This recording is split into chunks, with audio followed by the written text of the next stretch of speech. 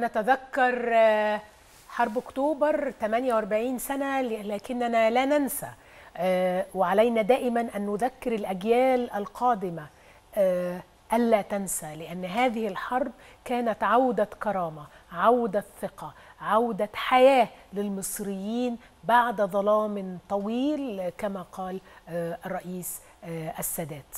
نترحم على كل شهدائنا على الرئيس السادات.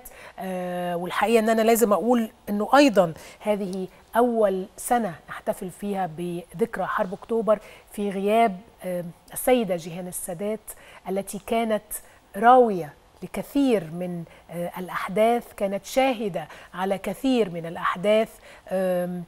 أشعر بالفقد بالافتقاد أنا شخصيا لأنه ده كان موعدنا السنوي لحوار بيننا. سواء بيني وبينها أو بيني وبينها والأسرة حوارات عديدة. لا أذكر عددها في البيت بيت الرئيس الراحل أنور السادات وكانت تتحدث كثيرا عن ذكريات الحرب وعن فخرها بالراحل